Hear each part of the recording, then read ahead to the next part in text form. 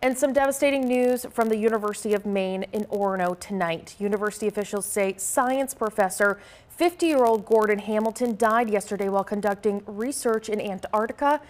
They say Hamilton died when the snowmobile he was riding hit a crevice and he fell 100 feet. The university says he was a quintessential scientist and educator who touched and changed many lives and he will be very missed.